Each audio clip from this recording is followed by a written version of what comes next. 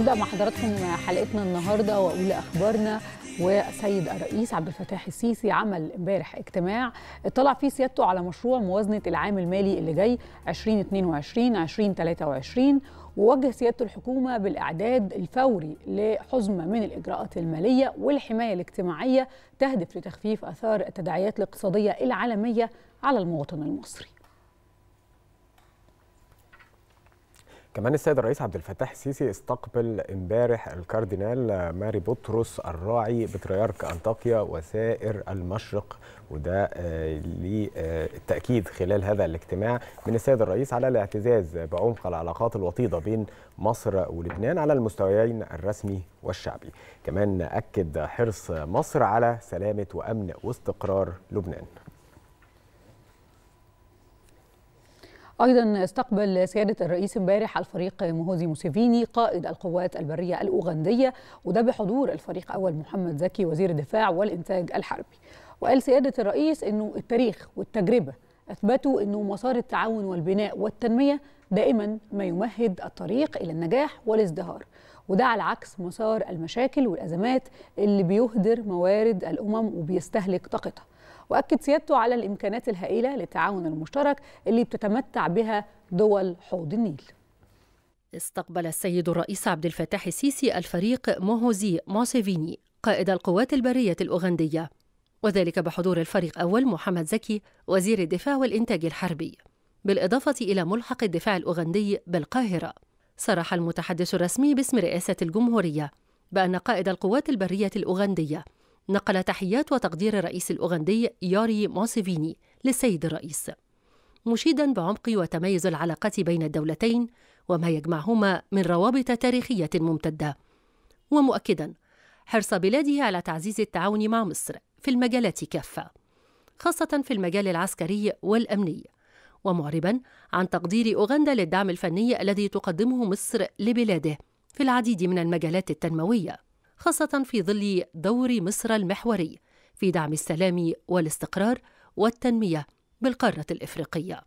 أضاف المتحدث الرسمي أن السيد الرئيس طلب نقل تحياته للرئيس الأوغندي ياري موسوفيني مشيدا سيادته بأواصر الأخوة والتعاون التي تربط بين البلدين الشقيقين وتطلع مصر لمواصلة تعزيز العلاقات المتميزة مع أوغندا في مختلف المجالات ومؤكدا أن التاريخ والتجربة أثبتا أن مسار التعاون والبناء والتنمية دائما ما يمهد الطريق إلى النجاح والازدهار.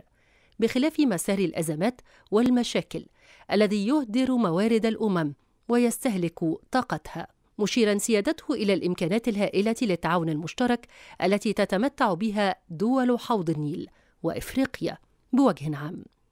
حيث طالما مثل هذا النهج الإطار الحاكم لسياسة مصر في التعامل مع عمقها الإفريقي وهو ما تجسد خلال رئاستها للاتحاد الإفريقي وكذا في تفاعلها مع كافة الشركاء الدوليين للقارة.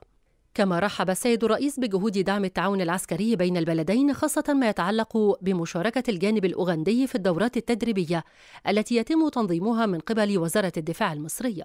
مشيدا سيادته في هذا الإطار بما يجمع البلدين من تاريخ مشترك في الدفاع عن قضايا القارة الإفريقية والسعي لتحقيق مصالحها. وقد تناول اللقاء سبل تعزيز العلاقات الثنائية في عدد من مجالات التعاون المشترك بالإضافة إلى التباحث بخصوص تكثيف آليات التشاور وتبادل الرؤى بشأن أبرز القضايا المستجدة على الساحة القارية. في ضوء تطلع مصر لتعظيم المكاسب المشتركة لدول القارة خاصة دول حوض النيل استنادا إلى الإرث التاريخي والروابط المشتركة التي تجمع بينها. كما استقبل السيد الرئيس عبد الفتاح السيسي الكاردينال مار بطرس الراعي بطريرك أنطاكيا وسائر المشرق للموارنة وذلك بحضور السفير علي الحلبي سفير الجمهورية اللبنانية بالقاهرة. صرح المتحدث الرسمي باسم رئاسة الجمهورية بأن السيد الرئيس رحب بالكاردينال مار بطرس في بلده الثاني مصر. مؤكدا سيادته الاعتزاز بعمق العلاقات الوطيدة بين مصر ولبنان على المستويين الرسمي والشعبي. وحرص مصر على سلامة وأمن واستقرار لبنان وتحقيق المصالح الوطنية اللبنانية وتجنيب لبنان مخاطر الصراعات في المنطقة. وذلك في إطار الاهتمام المصري الدائم بكل ما فيه مصلحة لبنان وشعبه. ومثمنا الدور البناء والأساسي الذي يقوم به الكاردينال في سبيل دعم لبنان واستعادة استقراره. من جانبه أعرب الكاردينال مار بطرس عن تشرفه بلقاء السيد الرئيس مؤكدا حرص لبنان على تعزيز العلاقات التاريخية الوطيدة التي تربط الدولتين الشقيقتين والتي تقوم على أسس من التضامن والأخوة. ومعربا عن تقدير بلاده للجهد المصري في دعم لبنان في كافة المجالات. وكذلك كركيزة محورية وضامن أساسي لحفظ الاستقرار بها والمنطقة العربية ككل.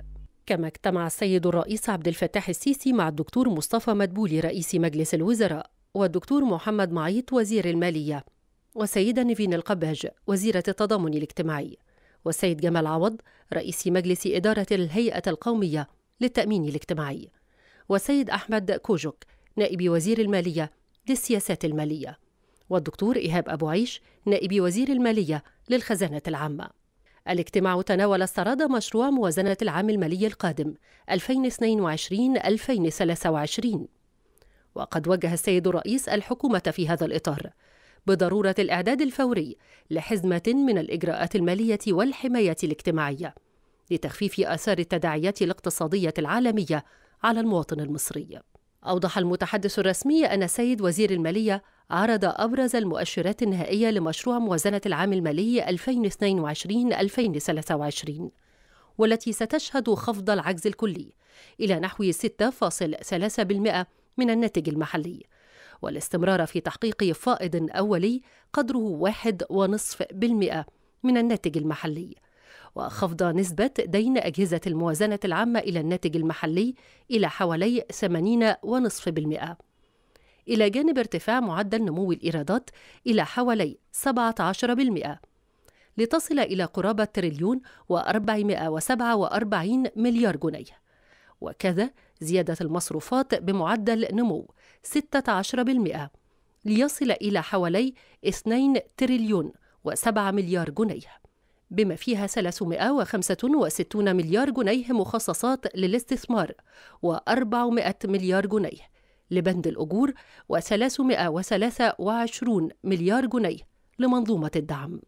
أضاف المتحدث الرسمي أن السيد الرئيس اطلع كذلك خلال الاجتماع على مستجدات تطوير المنظومة الضريبية خاصة ما يتعلق بنظام الفاتورة الإلكترونية وميكنة وتطوير الإجراءات الضريبية فضلا عن الموقف التنفيذي للإجراءات المتنوعة لمكافحة التهرب الضريبي سواء من خلال الحملات الضريبية أو عن طريق وحدة الضرائب الإلكترونية الجديدة التي قامت بدورها بحصر أكثر من خمسة ألاف حالة خلال الفترة الماضية وجاري استكمال إجراءات تسجيلهم. كما تم عرض معدلات النمو في الإقرارات الضريبية الإلكترونية حيث زادت أعداد المسجلين بنسبة 106% من يونيو 2018 إلى جانب زيادة أعداد مقدمي الإقرارات خلال نفس الفترة بنسبة تتخطى 60% بالإضافة إلى عرض موقف الحصيلة الضريبية للقيمة المضافة والتي ارتفعت بنسبة 22% عن العام الماضي. وكذا جهود منظومة التقارير الذكية وإدارة الحالات بمصلحة الضرائب والتي فحصت ما يزيد عن 41 ألف حالة خلال الفترة الماضية. وسددت ما يقرب من خمسة ألاف حالة تهرب ضريبي منها بمبالغ تصل إلى خمسة ونصف مليار جنيه. وقد اطلع السيد الرئيس على التعديلات على مشروع قانون الضريبة على الدخل والتي تمثلت أبرزها في الإصلاحات المتعلقة بتنشيط البورصة المصرية وفقا لما تم الاتفاق عليه مع المستثمرين والبورصة لدعم وتشجيع الاستثمار فيها. فضلا عن إعفاء صناديق الاستثمار والأوعية التي تستثمر في البورصة من الضريبة واستبدالها بضريبة قطعية على عائد الوثائق. وذلك بهدف تشجيع الاستثمار المؤسسي ودعم الشركات الناشئة وتجنب الازدواج الضريبي وتحقيق العدالة الضريبية. إلى جانب تجديد العمل بقانون إنهاء النزاعات لسرعة الانتهاء منها وتخفيف العبء على مصلحة الضرائب في إطار العمل على ميكنتها وتطويرها.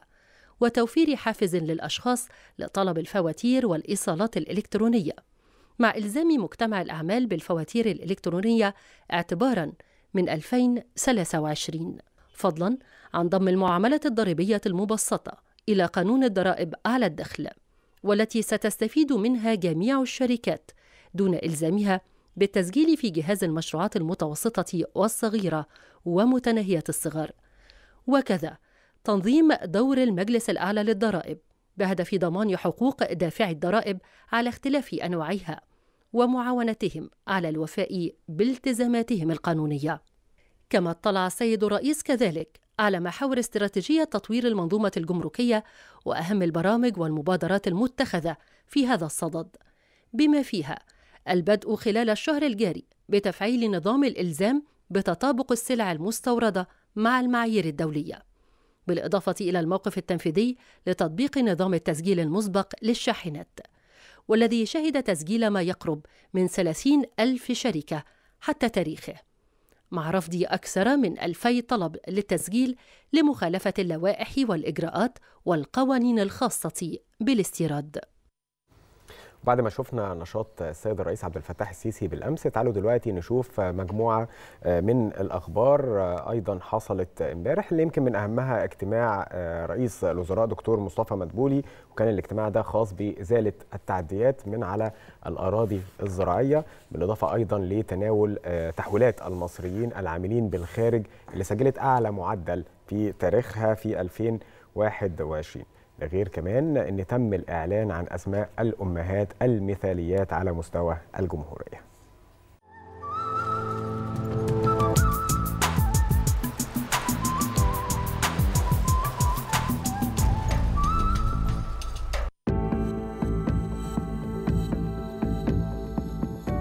أخبار كتيرة حصلت امبارح. أهمها الاجتماع اللي عمله الدكتور مصطفى مدبولي رئيس مجلس الوزراء وتابع فيه جهود التعامل مع مخالفات البناء وإزالة أي تعديات على الأراضي الزراعية. وشدد رئيس مجلس الوزراء على ضرورة متابعة إجراءات إلغاء الدعم عن المخالفين والمتعدين على الأراضي الزراعية. كمان استعرض مركز المعلومات ودعم اتخاذ القرار امبارح تطورات تحويلات المصريين العاملين بالخارج خلال السنوات الأخيرة واللي شهدت ارتفاع وصل ل 72% في الفترة من 2015 ل 2021 وسجل حجم التحويلات في 2021 مستوى غير مسبوق وصل ل 31.5 مليار دولار وده مقارنة ب 18.3 مليار دولار في عام 2015 امبارح كمان أعلنت نيفين القباج وزيرة التضامن الاجتماعي في مؤتمر صحفي أسماء الأمهات الفائزات في مسابقة الأم المثالية لعام 2022 على مستوى محافظات الجمهورية. وأكدت القباج على حرص الوزارة على تكريم الأمهات المثاليات وفقاً لتوجيهات الرئيس عبد الفتاح السيسي. وقالت كمان إنه عدد المتقدمات لمسابقة الأم المثالية السنة دي 775 سيدة على مستوى الجمهورية. ولكل واحدة منهم قصة كفاح تستحق عليها التكريم.